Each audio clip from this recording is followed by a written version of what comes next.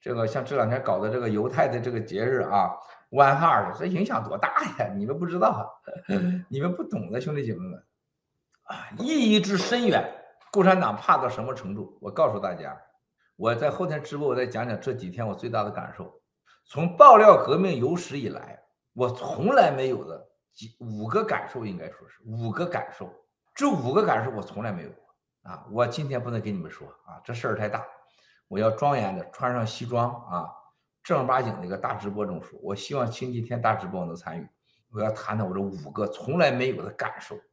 这都是和我们在乌东这个这个救援有也有关系，和我们的战友们的坚持有关系。你们真不知道，就在这个最近，爆料革命新中国联邦在世界上扮演的作用，发生了多少大事儿，从来我没有过。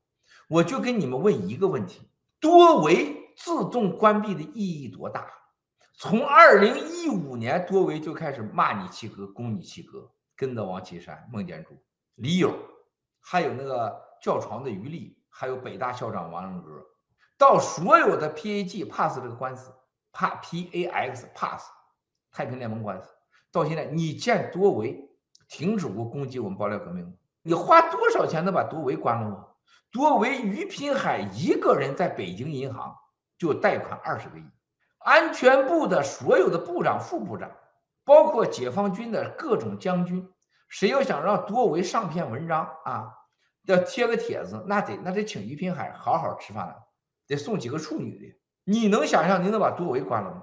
多维欠外债一个狗屁的于平海，就像这个去台湾搞的那个蔡延明一样，是吧？蔡延明现在叫台湾统战、国际统战，所谓的被国际官方认可的一批多维，一年的数据是二十个 T，那是政治斗争的最好的平台和工具。他可能帮你帮不了。但是多维要想在上面贴你几个当官的、当地的副省长、市长，贴你两个帖子，腐败让你贴了，你死定了。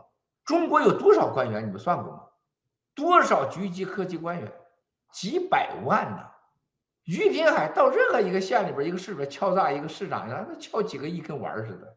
当年孙立军啊，就是要就是叫于平海，于平海仅仅就在苏州、在无锡搞高尔夫、搞土地。那都是几十亿、几十亿的玩一夜之间就因为一会儿啊，还有仨小时就开始开开庭了，咱们战友把他告了，GTV 把他告了，他就给关了。